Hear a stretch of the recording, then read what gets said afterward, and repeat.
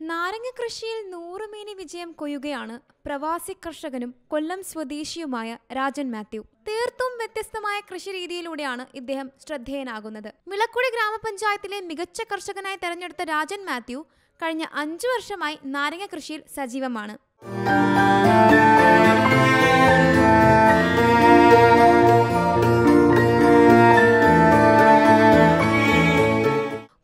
കാലത്ത് ഒരു നാരങ്ങ അൻപത് രൂപ കൊടുത്ത് വാങ്ങേണ്ട സാഹചര്യത്തിൽ നിന്നുമാണ് നാരങ്ങ കൃഷി എന്ന ആശയം ഈ പ്രവാസി കർഷകനിൽ ഉദിക്കുന്നത്.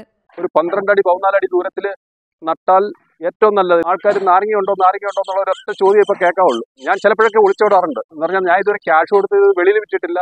രണ്ട് മൂന്ന് പ്രാവശ്യം നമ്മുടെ പഞ്ച കൃഷിഭവന്റെ ഞാറ്റുവേലയ്ക്ക് കഴിഞ്ഞ ഓണത്തിന് അതിന്റെ അല്ലാതെ ഞാറ്റുവേലയ്ക്ക് ഇതിനൊക്കെ കൊടുത്ത് ഇപ്രാവശ്യവും ഞാറ്റുവേലയ്ക്കുള്ള സമയത്ത് കൊടുത്ത് അവർ കൃഷിഭവനിൽ തന്നെ പറഞ്ഞേക്കുക ഓണത്തിനുള്ള ഞങ്ങളുടെ ഷോപ്പുണ്ട്. അതിന്റെ അകത്തേക്കുള്ള നാരങ്ങ തരണം ഒറ്റയൊരെണ്ണം വെളി കൊടുക്കരുതെന്ന് അവർ നിർബന്ധപ്പെടുത്തിയേക്കുക. അവർ നമ്മളെ നല്ല രീതിയിൽ ഹെൽപ്പ് ചെയ്യുന്നുണ്ട് എന്ന് പറഞ്ഞാൽ ഏത് സമയവും വന്ന് എന്തെങ്കിലും കുഴപ്പങ്ങളുണ്ടോ?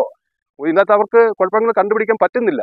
തുടക്കത്തിൽ ചെറിയ ആശയം എന്ന് കരുതിയെങ്കിലും ഇന്ന് രാജൻ മാത്യുവിന്റെ കൃഷിയിടം പൂർണ വിജയമാണ്. വിഷരഹിതമായ നാരങ്ങകൾ കൃഷി വകുപ്പ് നേരിട്ടെത്തി മൊത്തമായി എടുത്ത് വില നൽകുന്നതിനാൽ വിൽപ്പന വളരെ എളുപ്പം.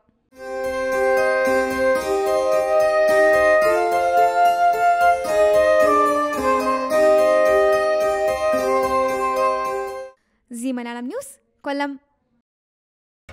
പുതിയ വാർത്തകളും വിശേഷങ്ങളും ഇനി വിരൽ തുമ്പിൽ എല്ലാ ഡിജിറ്റൽ പ്ലാറ്റ്ഫോമുകളിലും ഇപ്പോൾ സി മലയാളം ന്യൂസ് ലഭ്യം.